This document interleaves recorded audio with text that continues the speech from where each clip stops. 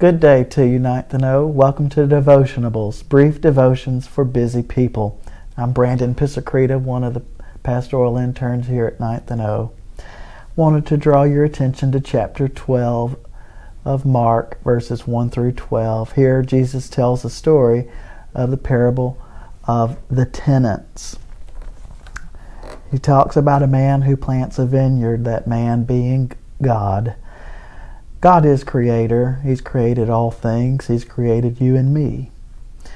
And in the text here, we see that Israel, the tenants, reject God. God lovingly sends servants into the vineyard. And that vineyard, uh, those servants, rather, are the prophets of God. He sent them prophets. He ultimately sent them His Word. And finally, what could He do than send His beloved Son, Jesus? Well, what did they do to Him?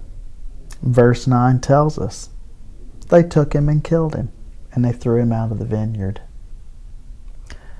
God is patient. Would you stop right now and think about the patience of God?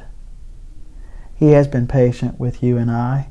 And just thinking about that reminds me that God will not always be patient. There's a judgment that's coming. Hebrews 9:27 says it's appointed once for man to die and then comes the judgment.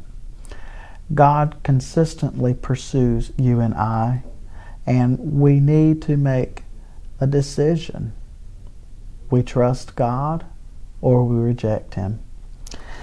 As we have been so lavishly uh, treated with patience by God, we should reflect that patience to those with whom we are sharing the gospel. And so we need to allow them the opportunity to make that decision for Jesus Christ. I hope you have a great day, Ninth and O.